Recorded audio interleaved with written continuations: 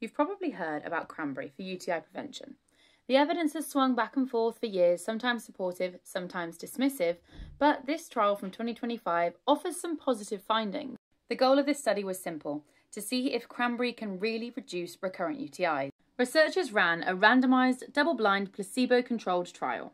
This is the gold standard in clinical research. Women with a history of recurrent UTIs took either a 500 milligram daily cranberry fruit powder capsule or a placebo for six months. The team tracked UTI recurrences, time to first infections, symptoms, and safety. The cranberry group saw about half as many cultured confirmed UTIs compared to placebo. Women taking cranberry also went longer before their first recurrence and had fewer UTIs with urgency or frequency symptoms. And importantly, no safety issues were reported. This is a strong, carefully designed trial that adds much needed clarity to the cranberry debate.